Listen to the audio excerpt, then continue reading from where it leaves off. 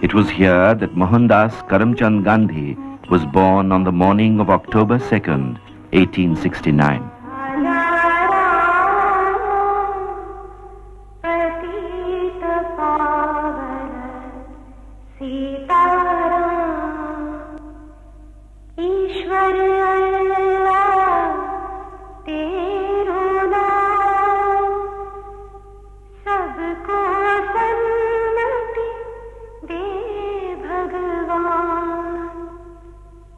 रघुपति राघव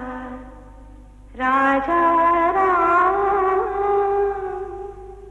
पतित पावन राजा रा प्रतीत पावन सीतारा ईश्वर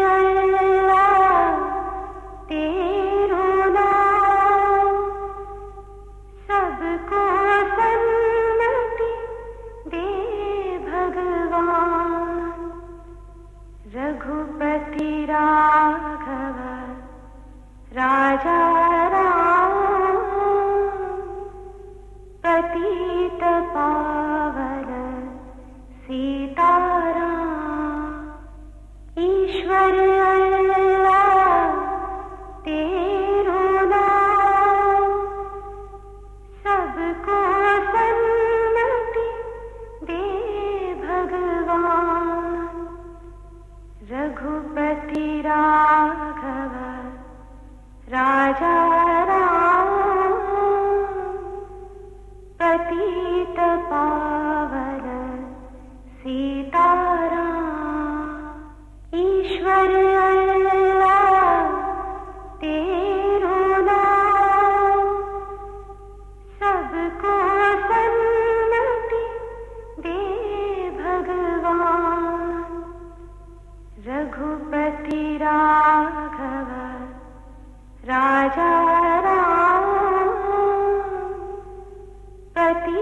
पावन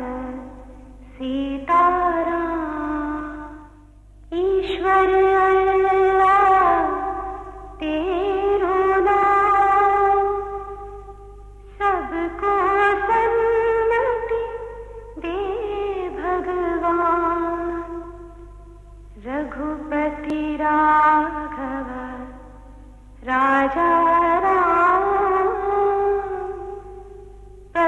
ीत पावद सीत